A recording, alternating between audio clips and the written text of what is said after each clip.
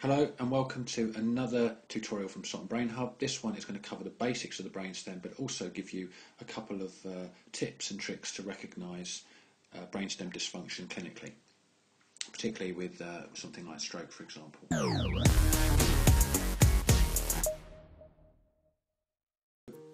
First of all, let's look at this diagram. We have an anterior view of the brainstem and uh, the brainstem of course is made up of the midbrain and the pons and the medulla and we can very quickly draw on just a few key landmarks of each. In here we have the pyramids of the medulla, in here we have the olives of the medulla. Moving up into the pons now we have the middle cerebellar peduncle, the attachment of the pons to the cerebellum, of course that's posterior. Up here we have the cerebral crus and just on top we can just about see that's the mammary body, it's not really part of the midbrain but still visible and uh, they're the main external features of the anterior brainstem. On the right hand side, I've drawn a very crude diagram representing each of those areas. So over here we would have that that represents the midbrain, this represents the pons, and this the medulla.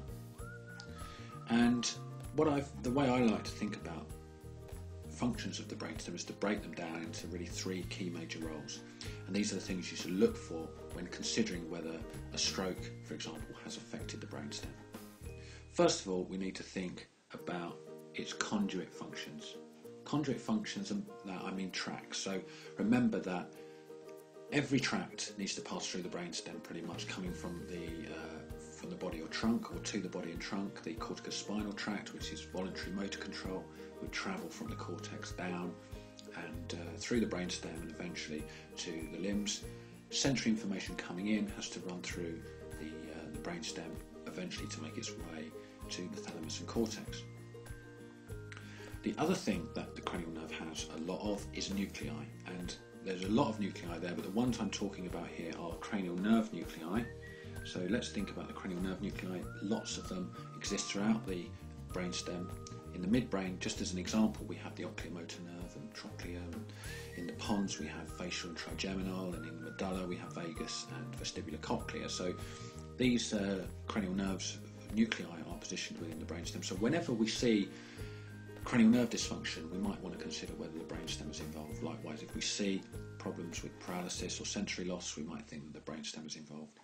The other thing is integrative functions, and there's two things going on here. One is physiological centres. Physiological centres meaning centres in the pons, uh, in the medulla, for example, that control cardiac uh, rate and rhythm and respiratory control and vomiting centres. So there's there's those physiological centres, but also included in there is this uh, blue oblong that I've drawn, and this really represents a structure called the reticular formation. And when we think of the reticular formation, it's I mean it's a very poorly defined structure anatomically.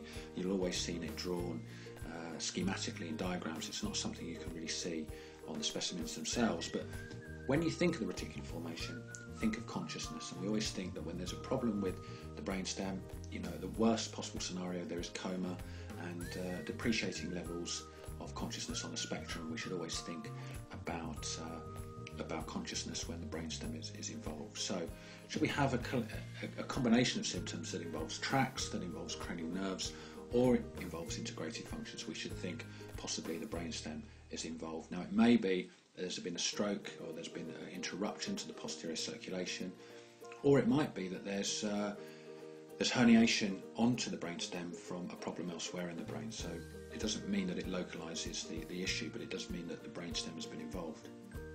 So one of the things that I think is uh, is quite good to remember here is pulling two two of these things together um, which is a, a symptom known as alternating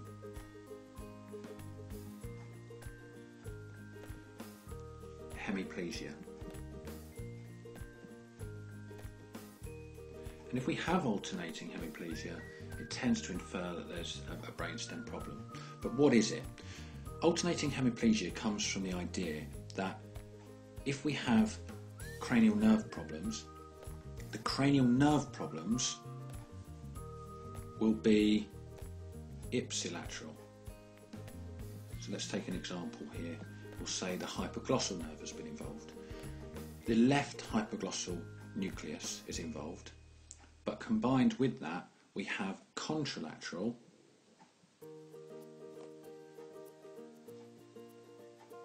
corticospinal tract signs. So the CN issue is ipsilateral and the contralateral is long tract signs. So should we have a problem where we say the left hypoglossal nerve is involved, but yet the right side of the body is uh, we have hemiplegia, that would be uh, a type of alternating hemiplegia. And when we see that, so we see cranial nerve dysfunction on one side, but on the other side we see problems with the corticospinal tract, that is referred to as alternating hemiplegia and often a telltale sign that the brainstem has been involved, together, of course, with issues surrounding consciousness or issues surrounding integrative functions. But that's one thing to remember alternating hemiplegia would infer brainstem problems. Now, I'm going to move on now and just talk about some more anatomy because uh, often I get asked a lot about whether it's really important to know different cross sections through the brainstem. I think the days have gone where students need to know a you know the cross section of the medulla at a rostral caudal midsection or through the pons. But I do think that the midbrain is quite an important structure because it reveals a number of uh, structures which are important for other diseases. What I've done here is shown you a cross section through the midbrain at the level of the superior colliculus. The superior colliculus is this structure sticking out the back here. And I've shown some nuclei on there which represent something known as the pretectal nucleus.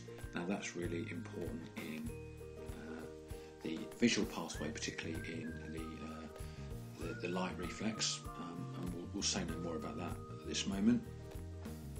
So the area outlined by grey around that black nuclei is the uh, is this the superior colliculus. In the middle here we have the cerebral aqueduct. That's for the travelling uh, CSF, and around that we have something known as the periaqueductal grey. So that's important for uh, understanding pain modulation. The two structures in here, both in red and yellow, equal two cranial nerve nuclei. One is the oculomotor nucleus, and the other is the Edinger Westphal nucleus. And uh, they're, of course, uh, really important uh, nuclei. Coming more anteriorly, we have the red nucleus, and more anteriorly still, really important structure, substantia nigra, which is important, of course, for understanding Parkinson's disease. And right at the very front, this is the cerebral crus, and this is uh, cerebral crus, Put it on the other side as well. And this is where we would expect to find the descending corticospinal tract fibres. Okay, so I think this is the most important cross section, really the only cross section that I think is worth studying in detail, is a cross section through the midbrain at the level of the superior colliculus and being able to identify these structures. Okay, that's it from me. See you soon. Subscribe to Soton Brain Hub for more videos to help explain the mysteries of the brain.